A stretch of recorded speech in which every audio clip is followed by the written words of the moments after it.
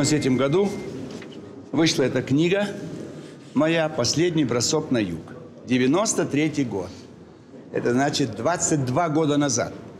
И вот все, что произойдет, э, здесь четко было обозначено.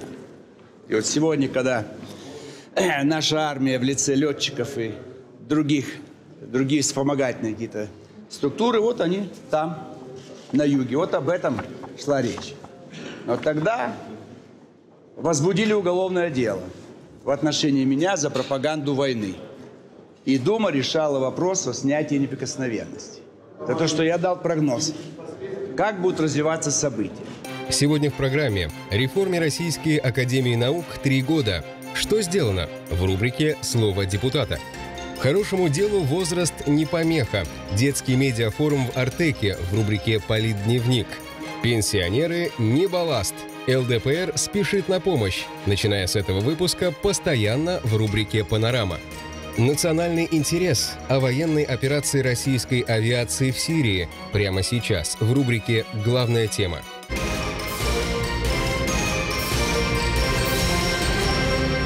30 сентября по просьбе правительства Сирии российская авиация нанесла первый удар по позициям запрещенной в нашей стране террористической организации «Исламское государство». С тех пор наша авиация наносит удары с регулярностью 20-30 раз в сутки, что позволило регулярной армии Сирии перейти в наступление. После афганской кампании 80-х годов это первая военная операция нашей армии за рубежом. О возможности скорого окончания военных действий на Ближнем Востоке рассуждал в своем интервью Владимир Жириновский. Там нет рейстага, где выдружать знамя победы. Этих боевиков может быть несметное количество. Это огромное количество стран, откуда они могут приезжать и приезжать. Нефти там несметное количество. Они будут ее контрабандно продавать и имеют в день, по-моему, даже 2 миллиона долларов. То есть у них есть деньги, им сбрасывают оружие – им поставляют оружие, они все моторизованные, поэтому э, все будет еще долго-долго длиться, и никаких решениях окончательных э, речь не может быть. Так называемое исламское государство должно быть уничтожено. Это в наших национальных интересах. Поэтому Россия поддержала единственную легитимную власть в этой раздираемой гражданской войной стране – власть действующего президента Башара Асада – Наши власти призвали все страны так называемой «западной коалиции» объединить усилия в борьбе против исламского государства. Но Запад отмалчивается, что можно расценивать как нежелание реально бороться с терроризмом. Если бы все объединились, то, естественно, можно было бы ставить задачу или думать о победе. А нам мешают американцы и европейские страны. Все действуют отдельно, самостоятельно. Поэтому это та война, которой еще никогда не было. Она называется гибридная война.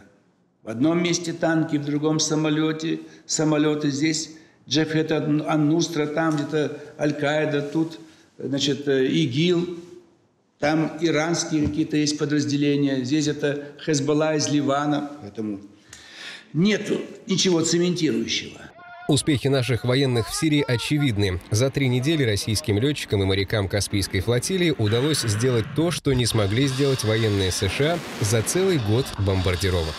Наша армия самая опытная, а самое главное, что она действует на дружеской территории. Союзников нет у США, а арабы всегда к нам хорошо относились. Мы им помогали хорошо в советский период и в военном отношении, и по строительству гражданских объектов. Поэтому, если нас будут просить, мы там будем находиться до того времени, пока будут нуждаться в нас, будем помогать уничтожать все незаконные бандформирования.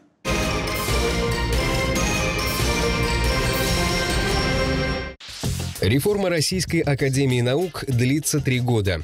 За это время сделано немало. Изменена система управления, появилось Федеральное агентство по научным организациям, созданы новые научные площадки. Только под крышей Сколково собралось более сотни новых перспективных проектов. Из-за границы потянулись на родину некогда уехавшие за лучшей долей ученые. Они почувствовали, что ситуация в отечественной науке изменилась к лучшему, и у молодых появились неплохие перспективы. У нас 400 институтов Российской Академии Наук, бывшей Российской Академии сельхознаук и медицинских наук. Всеми ими руководят академики, и всем за 70 лет. Понятное дело, что у них сформировавшаяся школа, что они гуру, мы их очень уважаем, это наше достояние. Но зачем им быть директорами этих институтов? Где молодые ученые получат возможности и опыт управленческой работы, продвижения своих проектов, возможности выезда, в том числе за рубеж, контактов с мировыми учеными за рубежом. Ну где, как, если сидит дедушка, он все взял в свои руки, он заслуженный, мы его любим, уважаем. Конечно, нигде.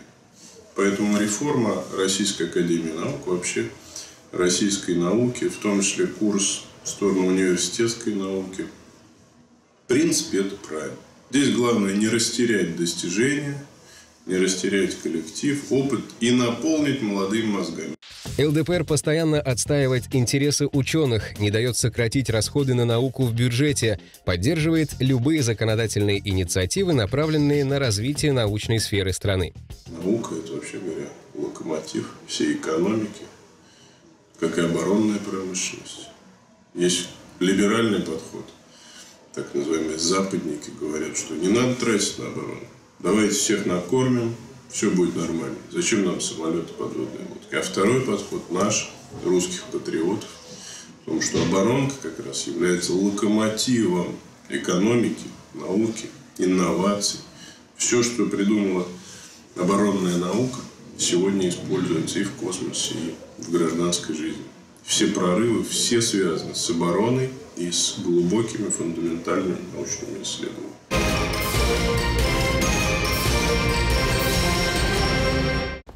Первой половине октября Владимир Жириновский с рабочим визитом посетил Республику Крым. Здесь, на Черноморском побережье, председатель партии встретился с жителями Ялты, провел совещание с активистами ЛДПР, посетил Никитский ботанический сад и встретился с участниками первого международного детского медиафорума в Артеке.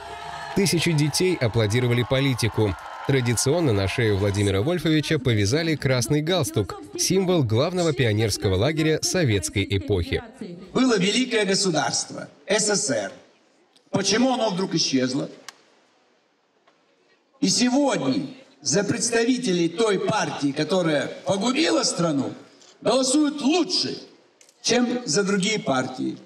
Казалось бы, страну потеряли. Какие убытки.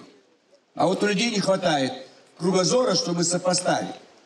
Мы должны ориентироваться, поддерживать в нашей среде. Не обязательно это политические партии, это быть трудовой коллектив. Того, кто работает на созидание, а не на разрушение. Это же надо смотреть, э, это надо видеть.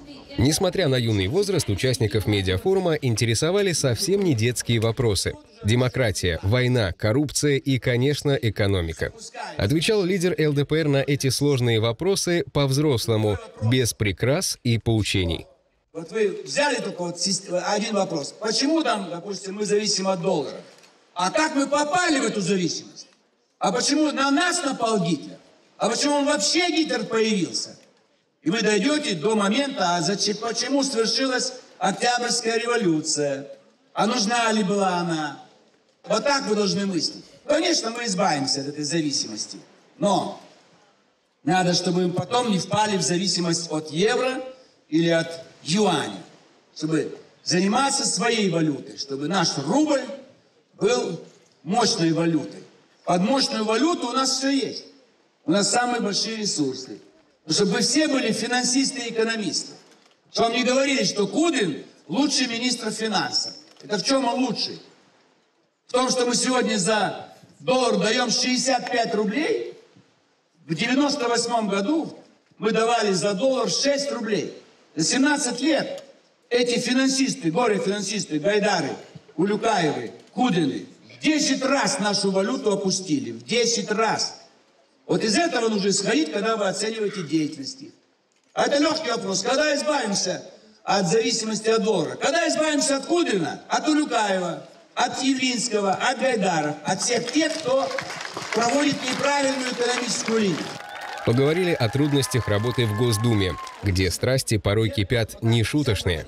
Развитие тогда будет, когда мы будем высказывать разные позиции и отстаивать эти позиции, и критиковать а если мы все заснем в Госдуме, и вы в школе заснете, и все начальники заснут, мы развиваться не будем. Поэтому самое главное в нашей жизни – обеспечить условия для развития. В заключении для газеты детского медиафорума Владимир Вольфович сказал несколько напутственных слов будущим журналистам. Вся наша работа, все наши медиаресурсы, чтобы говорить о хорошем. Есть недостатки, о них можно говорить. Но цель нашего общения – позитив. Чтобы нам всем было хорошо. Чтобы никто не стрелял. Помните, ваши ровесники, они боятся, на них падают бомбы, Донбасс или Сирия. У нас с вами все намного лучше. Но мы должны проявлять солидарность с теми, кто страдает. Чтобы меньше было людей страдающих, поэтому все участники медиафорума научитесь правильно все анализировать, поддерживать и любите свою будущую профессию. Спасибо.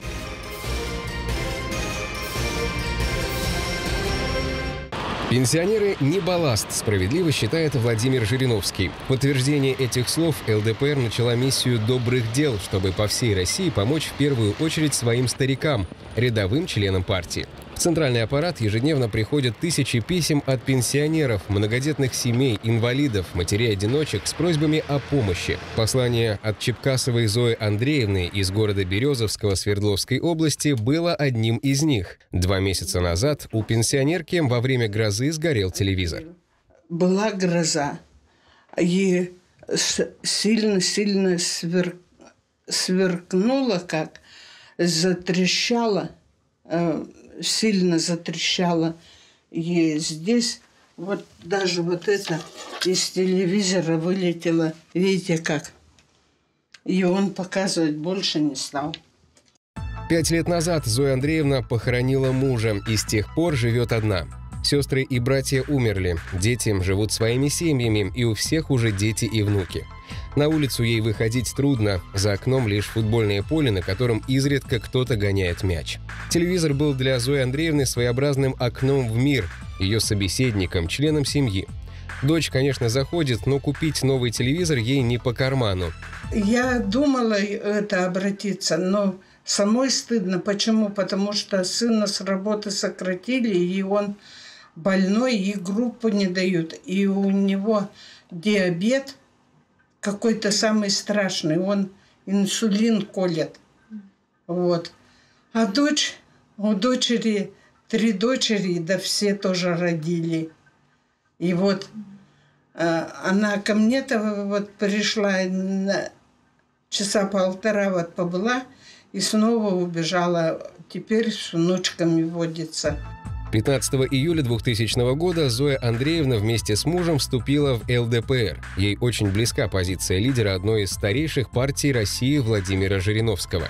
Почему-то мне Владимир Вольфович всегда по телевизору нравится. Он справедливо говорит. Мне кажется, он во всем прав. После многих раздумий пенсионерка поняла, что Владимир Вольфович тот, к кому она может обратиться с просьбой подарить ей на 80-летний юбилей телевизор. Приезд представителей ЛДПР в день 80-летия Зоя Андреевна восприняла с большой радостью. Но она не подозревала, какой сюрприз ее ждет. Ой, Это вам, днем рождения ой, спасибо. Пожалуйста. Сейчас, сейчас заплачу. Спасибо.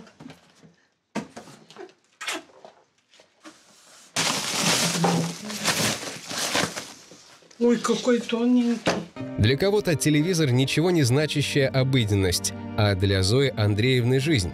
Эта история похожа на сказку с хорошим финалом, но впереди таких сказок еще много. ЛДПР только начала свою миссию добрых дел, чтобы внести в жизнь тех, кто нуждается, частичку праздника. Днем рождения, мамочка. Прям Спасибо.